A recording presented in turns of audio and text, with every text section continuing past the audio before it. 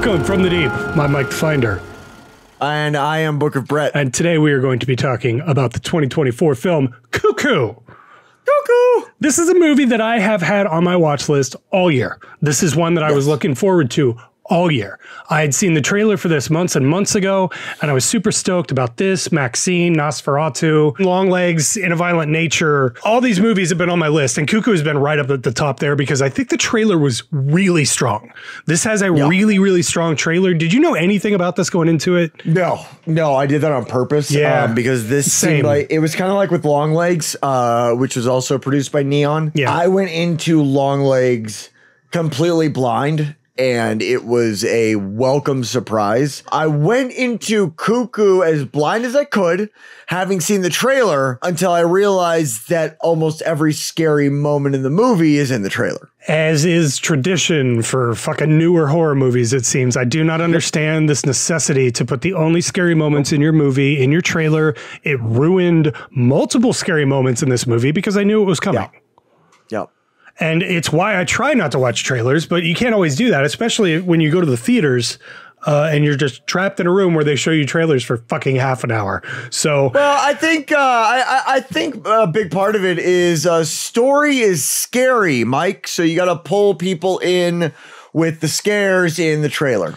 yeah, I mean, I, like, look, look, look, look, uh, like we got a story, but we put some scary shit in there too. well, do you feel like the trailer is even a good representation of what this movie is? no, no, not even a little bit. not right because it felt No, like from the even a little trailer it felt like much more of a a hardcore horror movie than the movie actually feels and and when we Yes. were watching it you even said this is more like a thriller Yeah, and then we proceeded to count the amount of scary moments. Right. Which I think we got to five or six. I, yeah i also want to point this out we have now both watched this twice this is a movie that actually does kind of get a little bit better with a second viewing i liked it the second time around more than I liked it the first time. A second viewing really helped this movie a lot. Just being able to pick it apart cinematically.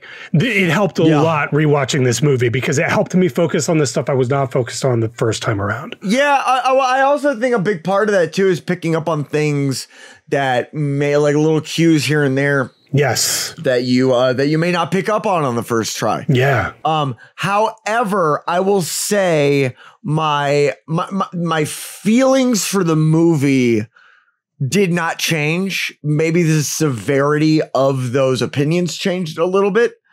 Um, but overall, I will say upon a second viewing, I think I was also probably paying more attention than you were the first time because my opinion of this movie 100%. did not change very much on the up, upon a second viewing. I don't know. It didn't go up that much, but I do feel like I liked it more. But but we were also kind of bullshitting and kind of you know, we watched it in a very social. Thanks, Jonah. we watched it in a very social situation the first time around. Yeah. Uh, So it was m- a little more complicated to pay attention to it. But uh, either way, why don't we just get into this? If you want to give us a synopsis for Cuckoo for 2024, we will get then get into our review. We'll talk spoilers after we give you our initial impressions. We'll give you a heads up before we do that, and then we will give ratings and we will get out of here. But why don't you give me a synopsis first? Cuckoo is about a family who goes to stay at a Bavarian resort because the dad is, I guess, an architect. And then we find out that some really weird people are doing some really weird stuff to some really unwitting people. You're such an asshole. Why? All right, well, let's go ahead and see what IMDb has to say. Cuckoo from 2024, rated R. wrong. It's an Mine's hour and better, 42 minutes. And the one sentence synopsis is a 17 year old girl is forced to move in with her family to a resort where things are not what they seem. That is basically what I just said. It is actually. It's shockingly close to what you just said. Actually, Yes. yes. So- the the the, qui- the sooner you acknowledge, accept, and embrace my genius, the Oh, that's happier just- we're all gonna be. It's just never going to happen. But so this is directed and written by Tilman Singer, who, admittedly, I don't I don't know. And when I looked at his directing credits, he has four directing credits to his name. So he has two shorts and two full actual length movies. So this is technically his second movie, which is actually kind of insane how much hype and Yeah. um, Yep. just like buzz that he was able to generate with this movie. Yeah, Um, well, if you look at the reviews, a lot of them are inaccurate. I saw one that called this a body horror movie. Get the fuck out of here. This isn't a body Yeah, horror movie. no, they need to go barely a horror movie. Yeah. Um, it stars Hunter Schafer, Jan Bluthardt, and Martin. I'm not even going to pronounce that. Um, here's the thing. Short. Here, yeah, Martin Short. Here's the thing. This Hunter Hunter Schafer's uh, debut in, as far as this show goes. Uh, Hunter Schafer is not somebody I'm overly familiar with, and when we look at her credits, Kinds of Kindness, Cuckoo, The Hunger Games, which is that the new Hunger Games that came out last year. I mean, I just don't know anything about Random. Hunter Schafer at all. So this is like the first time I've actually seen her in anything, and I got to say, Yep. pretty good actress. Like Yeah. she like kind of carries this movie the entire time and does a pretty damn good job, like a shockingly Well, good job for how little she experience does. she has. Thank God she does because everybody in this movie is so fucking unlikable. That does seem to be the running theme in this, especially for you. You just you really didn't like her either. I didn't like anybody in this movie. Um, and we talked about this. Um, one of the biggest problems I have with her is her emotional instability. But then I have to look back on what a monumental wreck of a human being I was when I was a teenager. And I have to go, yeah, that seems about right. Yeah, that's how you know that this was actually written in a very like realistic way as far as what a teenager would would Yeah. say and But- think. but overall my my issues with her were just like these uh, th- these actions and uh decisions that seem so i don't know naive and i know again i know she's 17 She's a child, yeah. I, I, I, and I do get that, but like the first inkling I got of her level of naivete is when she's riding her bike down a dark forest road with headphones on. Yeah. Come on. I mean, that's definitely Like- something, especially in a place that you don't know very well, that is not Yeah, a very good dude. idea. You've never ridden your bike at night. Like, even if that, you don't that have, area, so it does seem like a very dumbass thing to do. even if your mom and dad never instilled that lesson of be aware of your surroundings in you, I feel like the level of paranoia you would feel would be enough for being like, yeah, I should probably put this in my backpack. Yeah, well, and and that was actually the scene. Uh, we're gonna try, like I said, we're gonna try to not spoil anything, but that is the scene Yeah. from the trailer specifically that I was talking about. The Yeah. scene on the bike where It's the, the scene that made me go, oh shit, yeah, okay. and you see, like I said, I, I don't think this is even spoiling anything because it's in the fucking trailer, and she's getting chased by somebody on a bike, but doesn't realize it because, like he said, she's got headphones on, and it's just. It, it does speak to a greater thing, a problem with her character, just in a way that like she doesn't fully think through the things that she does, but also, Right. like you said, being 17, you do not make great decisions, and you're Right. mainly fueled by hormones. And, And and everybody's anger. awful So- until 25. So I mean, that's pretty not much. really I mean, fault. yeah, like 15 to like 22 at least. People are just Yeah. Um, yeah, you're you're you're you're you're just operating on hormones and social pressure and cum from like 15 Yeah. to 22. Yeah. All right. Well, why don't you go ahead and give me your overall impressions on uh, Cuckoo?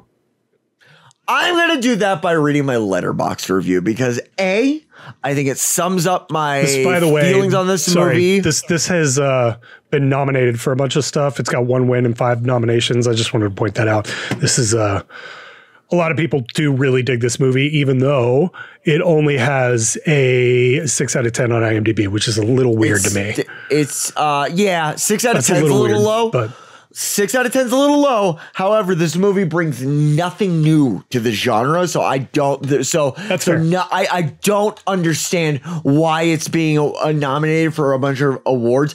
I'm starting to think hype is what you need to win awards nowadays because that's really what it's starting to feel like. So, Cuckoo 2024. Here is my Letterboxd review. Between the trailers and the hype, this seemed like a surreal horror that would be a mind fuck and adrenaline rush. It was definitely the former, but I don't think in the way it was intending. It does surrealism exceptionally well, which it does, and I still believe that. And the performances of the actors truly are stellar. I still believe that. But it's all for naught as lying upon a fruitful soil begging to grow to unknown heights is a layer of fertilizer without any of the nutrients required to carry this into a satisfying and enthralling ending.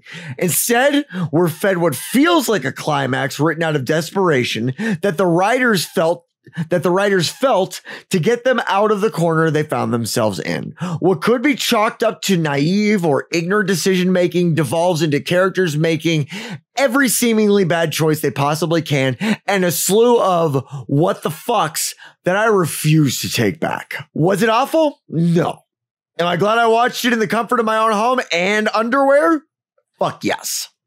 And I still think that sums up pretty much my vibe or, or, my, my my feelings on this movie in general. This is one of the first movies I've seen in a long time that even though it has elements of horror that I don't think pull it out of the thriller realm just quite enough.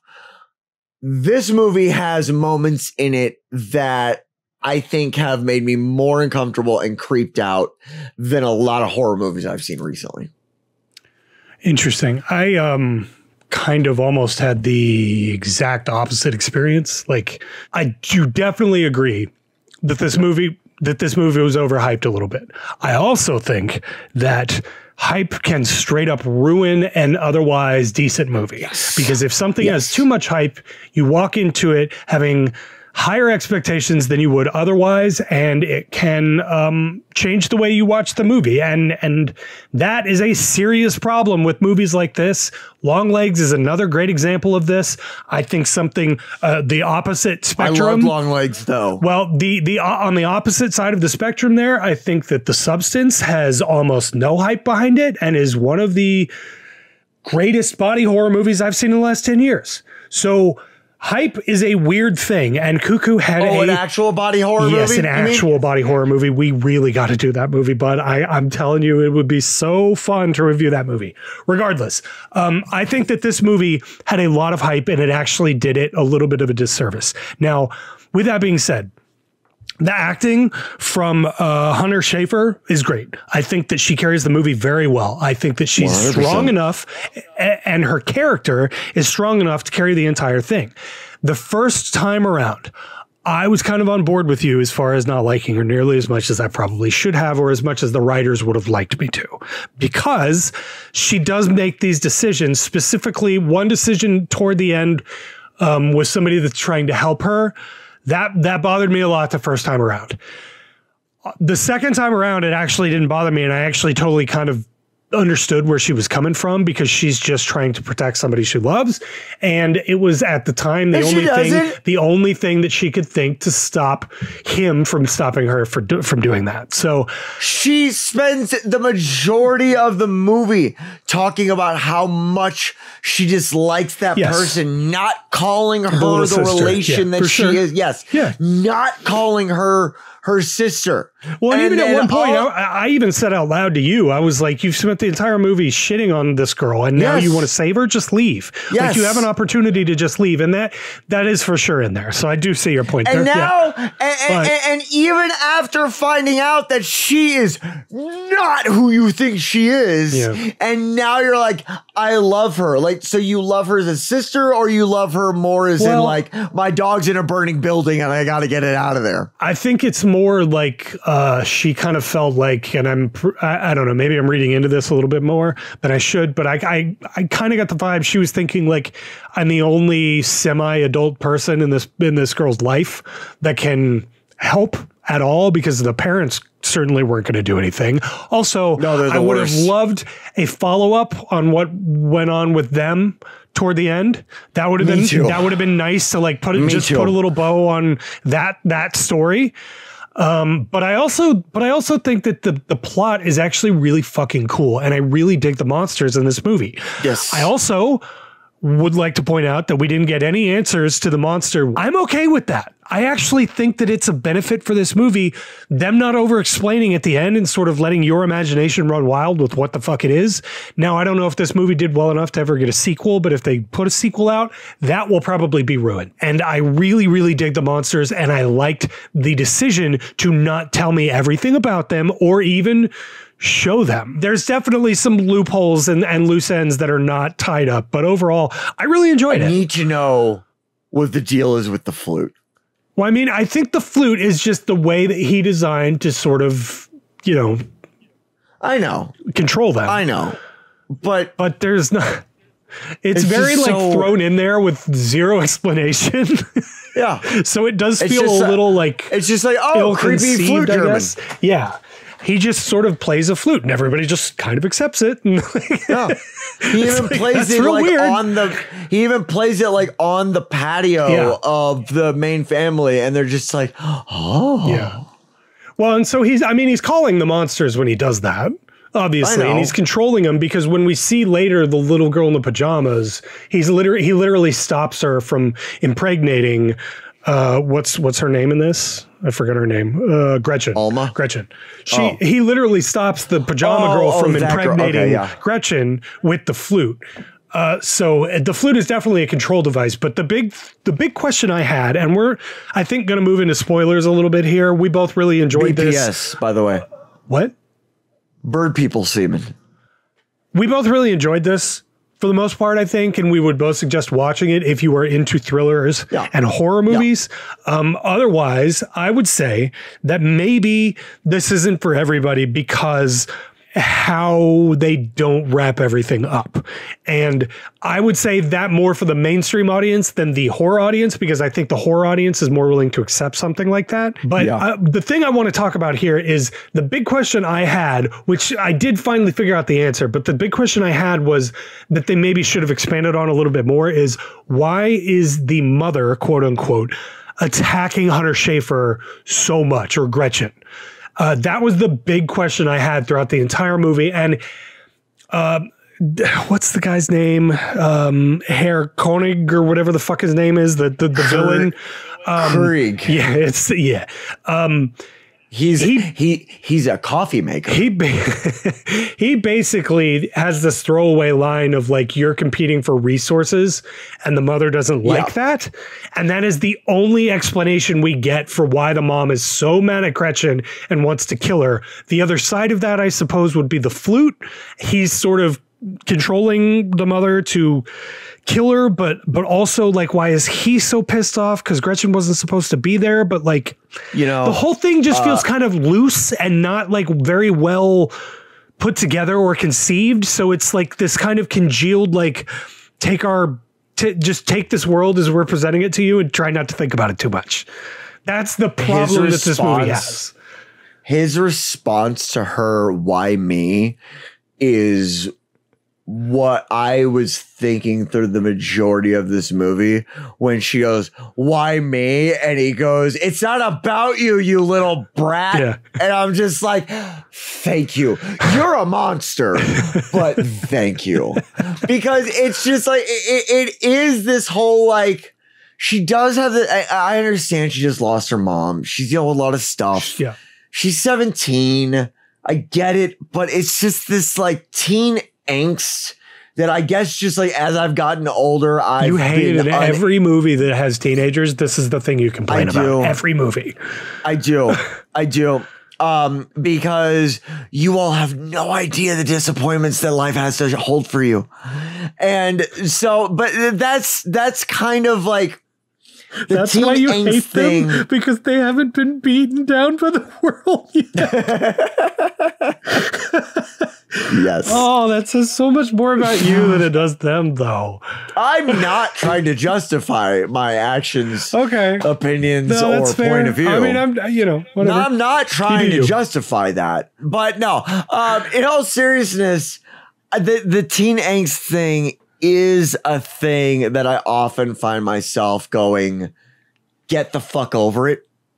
Which I also acknowledge is not fair, by the way. I do acknowledge I mean, that. that- yeah. However, my natural reaction is irritability. Well, I think it's a little I- bit when I- easier when I to feel for Gretchen in this movie, though, because of her situation. She's been Right. within the last few months. We don't know how long exactly because they never say, but within the last few months, she's lost her mother. She's had to move in with her estranged father, not only with her with her dad, but with a family she's not really a part of, and halfway around the world in Germany, where she's not even she's never even been to. So there's a lot Yeah. going on with her. Oh so my I, God. I so I think it's actually I- what my head hurts. I just, I just, I never thought I'd see the day when you were more empathetic than I was. I'm just I'm just saying like there's there's a lot going on with her to be able to I think maybe empathize with her enough to understand the Sure. decisions that she's making. Now the thing that I was Sure. talking about earlier that we both had a massive problem with where Gretchen stabs um Henry. Air, uh, he- Henry. His name is Henry. I'm looking at it on Okay. the uh the thing here. It's this guy, right? Yeah. This guy. yeah, it's that guy. Yeah, yeah. Poor Henry. When she stabs Henry, we both were kind of like, dude, what the fuck? He's the only one trying to help you. And she just, she stabs him twice too. Like it's not just once, she stabs him twice. But when I thought about it, and especially when we watched it the second time around, I was thinking more about her thought process and why she would be doing the things that she's doing, which is, which comes around to me maybe being a little more empathetic on this movie specifically because that's literally what I was trying to do. Um, and she is only concerned about her sister, regardless of how she's felt about her sister the entire rest of the movie. That's that's the big thing that is like a massive issue in this movie. She spends if she at the beginning of this movie felt some sort of guardianship or or had to protect her from something or had Right. some deep relationship with the little sister that would justify her sticking around at the end of the movie when all the shit goes down to try to save her then I feel like I wouldn't have nearly as much of a problem with the ending that I that I do. So does that make sense? So- Because I, I just no, no, don't. it totally make okay. So, so it totally makes sense, and I'm going to use a personal example. So, I have a cousin named. That's his real name. If this movie were with those roles, and I found out all this about, I'd be like, "Bye." even if it was eight. It's been a piece of shit since he could speak. I get all of that, but but when you find out, I feel like if you find out that the little sister may not be your biological little sister, but you thinking maybe you're the only person that can get her out of this situation because the parents are not going to do it. The doctor does not have her best interest in mind because all he wants to do is keep these these creatures living and keep producing more and more creatures. So she's going to end up being a mother herself. She uh, Okay. Gretchen is the only Okay. person in the world that can save that little girl from the from Sure. Alternatively, uh huh. I say you leave, you bury the guilt down with drugs and alcohol, and just constantly remind yourself that she's not your sister. That is the direction you could go, I guess. Yeah. That is I mean if yeah, okay. I mean if you don't mind lifetimes of regret, I guess that that would probably be fine.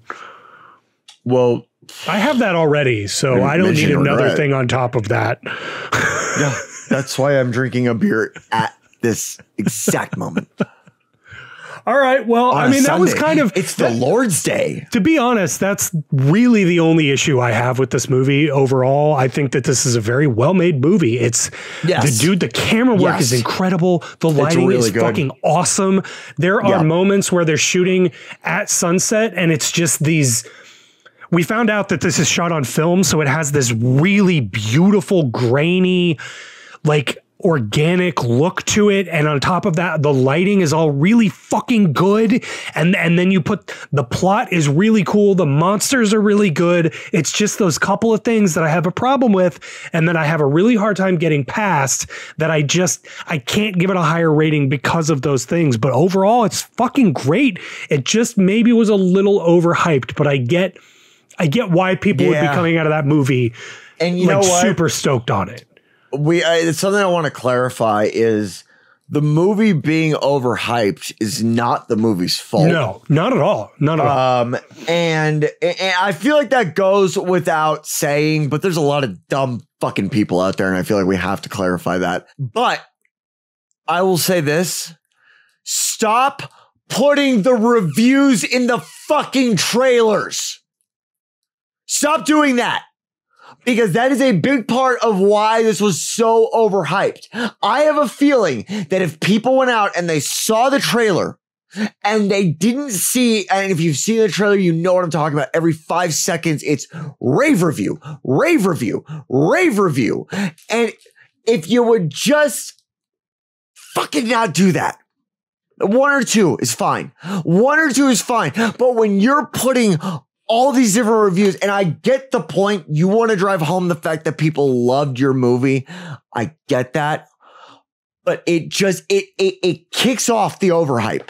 And then Look, people just this- take we- it and run we with it. talked about this a little bit when we reviewed Longlegs, which, by the way, is uh, linked down below and up top on the left here if you're watching the video.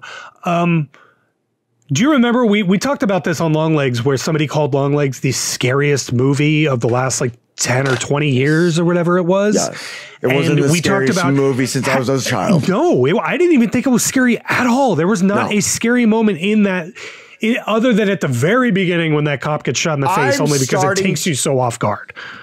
I'm starting to think that people don't know what horror is. Well, Um, and that's the thing, right? It's this is not a horror movie, and I wouldn't even say Long No. Legs is a fucking horror movie. And that's No. maybe maybe part of it is just the marketing, and they're they're both using red. Red is a classic horror movie color. The marketing looks all super gritty and dark and creepy. So maybe it's just a marketing thing that like the marketing departments of Neon just don't know how to market their own fucking movies. um These are both neon it- movies, it- and they both have the same problem of a being overhyped and b not actually being scary, but pretending that they're pretending that they are. Oh, So- God, we're gonna we're, we're gonna find out in in a year that this is all part of movie review movie review gate. Um, no, um, I think a big part of it is people are starting to confuse when you watch something that's dark and uncomfortable. People are calling it horror. That's not horror. Yeah, When you are made to be repulsed, when you're scared, when you're shocked, when you're frightened, when something is horrifying. Horror. When something is horrifying, it's a horror movie. When and in Longlegs, what Longlegs does is, horrifying, eh, but it's not a yeah. horror movie. Nah. no. What one character does is horrifying. What the movie does is thrilling. Right. Yeah. All right. Well, uh, why don't we go ahead and move on to ratings? I feel like uh, that's kind of all I had to say about this. You got anything else you want to talk about before we rate these? No, rate this, no, because? I don't want to give away too much. It's it's new. Um, Yeah. it's even though it is overhyped. Um, I definitely go. You know, give these people your money, man. We watched it on Amazon Prime, but we still rented it. Well, Yep. I rented it twice. Twice. I can own it right now. Now that I'm thinking about it. Yep. Um, but I will not, will not own a movie on digital. No, this this is I do feel like a good buy on on Blu-ray. Maybe not. This might not be a 4K pickup, but I feel like this is this would be a good one to own on Blu-ray. So okay, why don't you give me your um, final thoughts and ratings on Cuckoo? Uh, yeah, Cuckoo overall, I gotta say, you, you, you go into it with an open mind. Uh, you watch the trailers. If you let the trailer and not the just abundance of fucking reviews on the fucking screen. I don't remember that many, but I wasn't paying attention. I do. so I do. that would that's not a thing Um, that bothers me. So I w- I wasn't like hyper focused on it when I was watching it. Well, you know what? It really doesn't bother me, but when it impacts the expectations, that fucking bothers me. That's fair. I think that's fair. because I feel like if you I went into this not having seen any reviews, I generally do not read reviews before I see them. I don't even look up if we're gonna, if we're gonna review a movie, I don't. I try to look as little into it as possible. And with this one, unfortunately, most of the good shit was in the trailers. but when I'm sitting in front of an 80 foot by 40 foot tall screen and the movie reviews are on there, I can't fucking help but read them. Yeah. But my point is go into it with an open mind.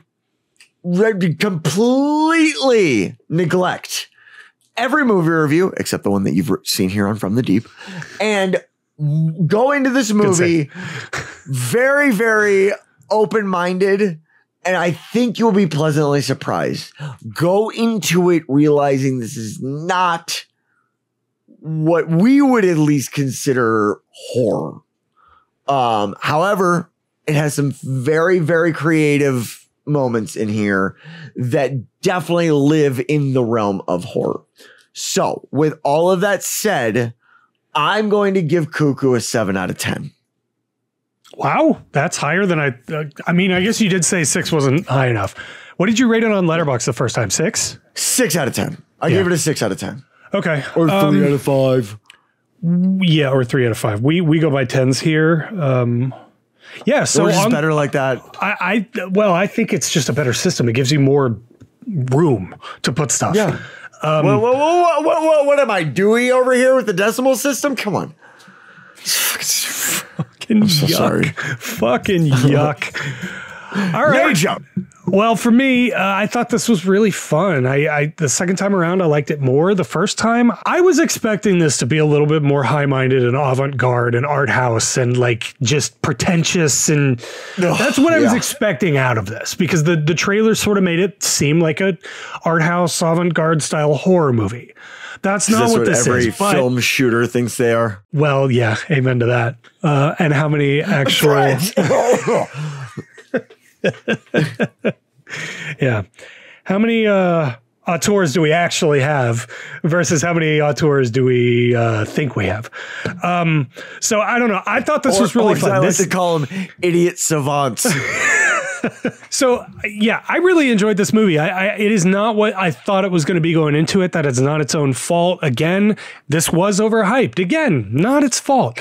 It's all about the expectations you have going into this thing, and the less you know about this movie, the better going into it. Now that we've seen it twice, I have a stronger sense of what this movie is about.